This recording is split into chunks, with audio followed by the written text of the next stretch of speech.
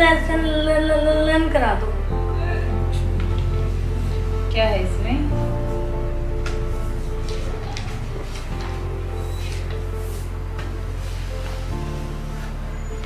हमने इस क्या करना है बेटा? इसके अंदर फुल फॉर्म करनी है ठीक है? जैसे कि C P U C P U की फुल फॉर्म क्या होती है? Central center processing processing unit unit C U C U control unit control U U unit M U M U memory unit memory unit L P M L P P P M lines lines पर पर minute minute बेटा जितना learn करवाया आपको अभी इतना learn करो आप। यहाँ पे बैठ जाओ और लर्न करो। क्या करूँ? मैं तो इससे बहुत परेशान होगी, इसकी हकलाने की उससे सारी जगह दिखा लिया, सब कुछ कर लिया, पर इसको आराम ही नहीं हो रहा। क्या करूँ? कहाँ जाऊँ?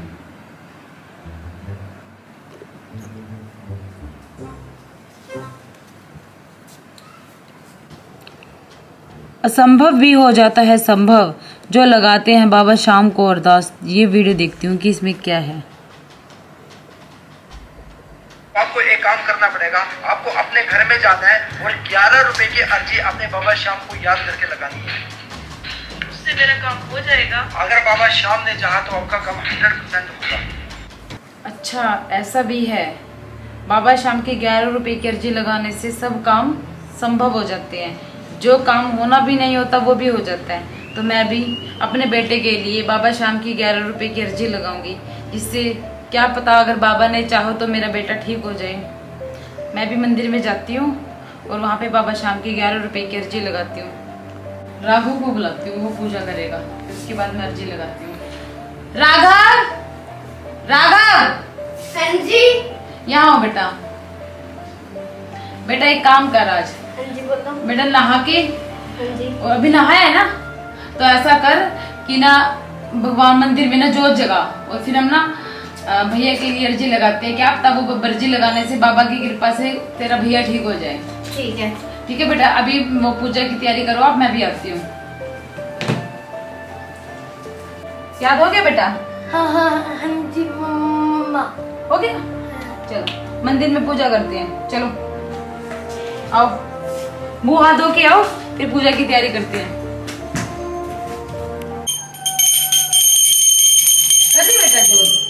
जगा दी वेरी गुड बेटा बड़ा जल्दी किया।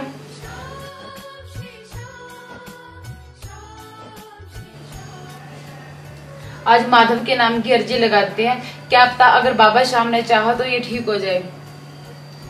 हमारे घर में तो बाबा श्याम का वो भी नहीं है। चलो ऐसे लगाते हैं। जय श्री श्याम जय श्री श्याम जय श्री श्याम। हे बाबा श्याम आप तो हारे हुआ का सहारा हो।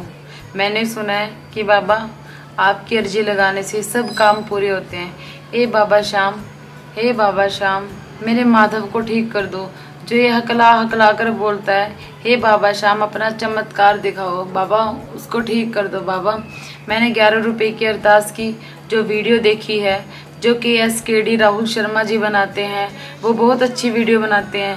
हे बाबा श्याम, उनकी वीडियो को देखकर ही मेरे मन में ये आया कि मैं भी बाबा श्याम की अरदास लगाऊँ। हे बाबा श्याम, मेरे बच्चे को ठीक कर दो। हे बाबा श्याम, मेरे माधव को ठीक कर दो।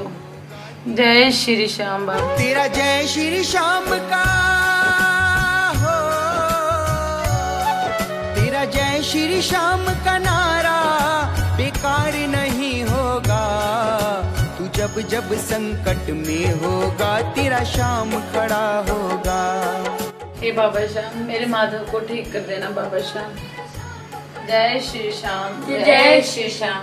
हारे के सहारे की जय श्री श्याम दीप का जय। नहीं होगा।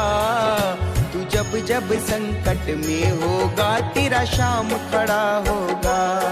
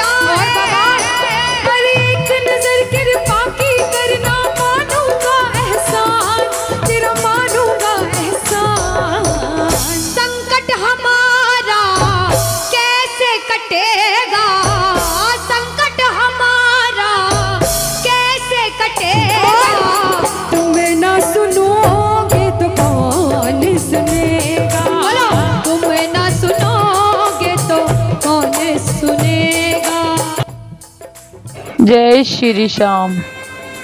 हारे के सहारे की जय। हे बाबा श्याम, मैंने सुना है आप हारे हुओं का सहारा हो और जो एक बार आपके दर पर हार कर आ जाता है, आप उसे दोबारा हारने नहीं देते। हे बाबा श्याम, मैं एक विनती लेकर आपके चरणों में आई हूँ। मेरा बेटा माधव जो अटक अटक कर बोलता है, हे बाबा श्याम, आप उसे ठीक कर दो। मैं बहुत दुखी हूँ उसको लेकर। हे बाबा श्याम, मेरी ये विनती स्वीकार करो। जय श्री श्याम बाबा, जय श्री श्याम।